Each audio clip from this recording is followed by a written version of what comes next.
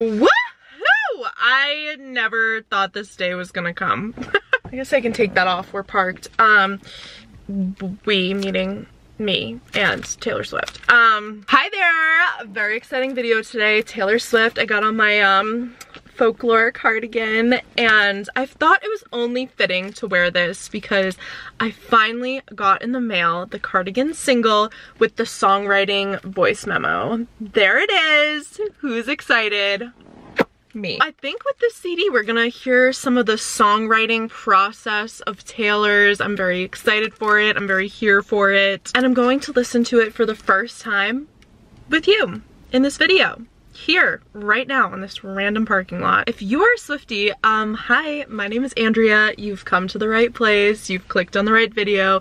You've come across the right channel. Yes, I love Taylor Swift with all my well-being. It would mean so much to me if you hit the subscribe button down below or gave this video a thumbs up. So how this all went down, basically my friends Andrew and Shannon, we did a little collab order. So I think Andrew ordered his cardigan and three of us all bought these CDs. So this CD with the cardigan single and the voice memo was $5. It was off the Taylor Swift website, the official taylorswift.com, but it took forever to get here. We ordered this on July 28th. We ordered it together to like save money on shipping, you know, as Swifties do. Like literally release week, we ordered this and it's here now in October. But you know, I'm not gonna complain about the shipping. I mean, we all know shipping's been a little weird lately. Everyone's doing the best they can. From my basic knowledge of it, it sounds like all their merch and stuff wasn't pre-made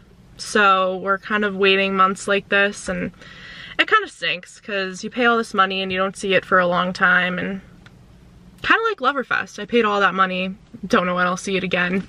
I'm opening it, I'm opening it. Let me give you some details. That's what it looks like.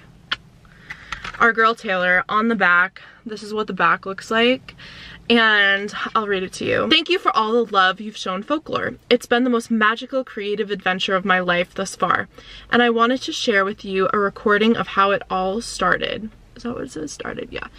The first recording I ever sent to Aaron for Cardigan, including the original lyrics. Ly there's different lyrics and lots of rambling. Oh, we love rambling. I love you guys so much, TS. I love you too, Taylor. All right, let's crack this baby open.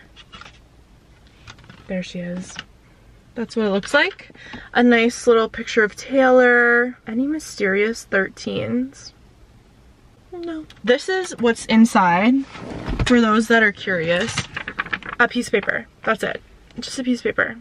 There's nothing wild about it. Let's put this in the CD player and get this party started. Woo!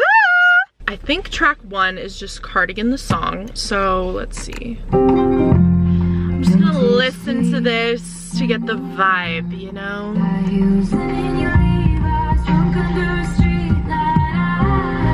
There's a guy across the parking lot staring. Whatever. Peter loser when is long, cause I knew everything when I was young. You'd come back to me. You'd come back. Ah, we love it. We love Cardigan. Obviously, I've heard that too. I don't know if I said that before, but obviously. Now, I think we're gonna move into the voice memo portion, how she wrote the song. Let's hear it. I think. Hey, so first of all, I'm Hi. obsessed with like, but anyway, the first one that I uh, was working something up for is the maple one. And What? I came up with this, this is just like a rough uh, thing.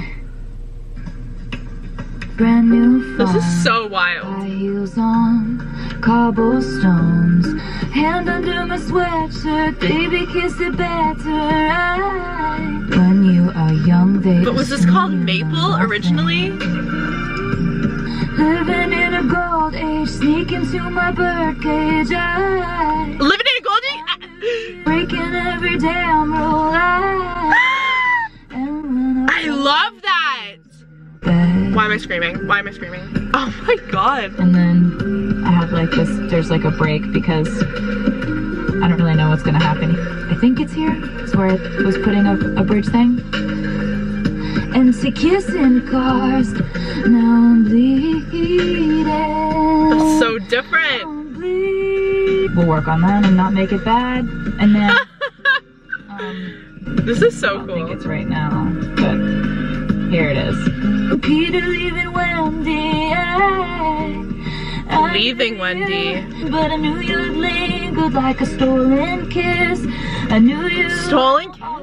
All over my- I wish you would have changed your mind.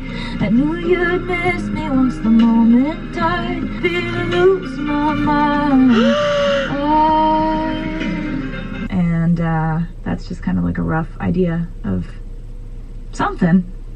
Let me know if you like it. Okay, let's unpack that. Wow, okay, so what we learned was the song was so different. I personally felt like listening to the voice memo brought more meaning to the song for me. It's sad. It's a really sad song. I guess from a songwriting perspective too, it's kind of like what made her change it.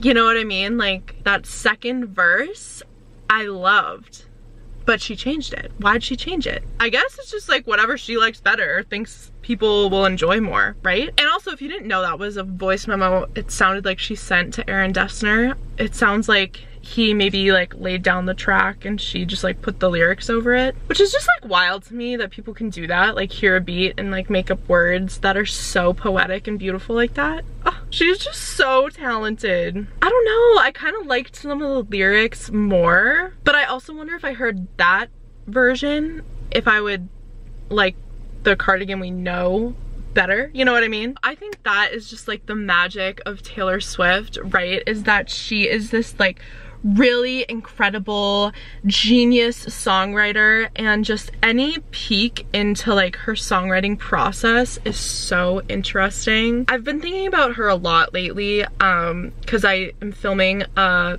Billboard Music Award reaction tonight. Taylor has just sustained such a well-known well done poised career. And like not a lot of artists you know you see year after year after year after year at these award shows like Taylor. Taylor has been in the business for 13 years now something like that. Like she knows what she's doing. She's very talented. She knows her strong point is her songwriting. No one can do it like T Swift, okay?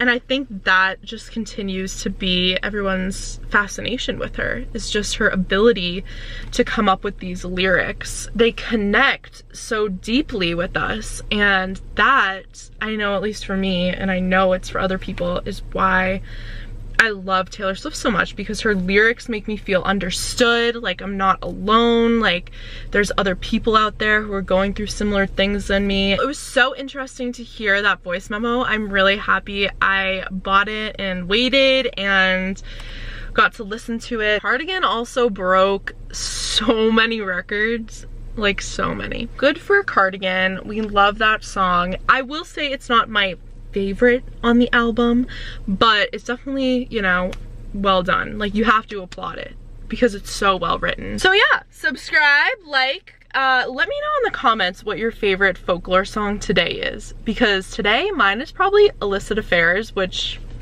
was low ranking, but is very high up on my list today. So, yep, that's what it's looking like. Um, but again, thanks for watching and I'll see you soon. Bye.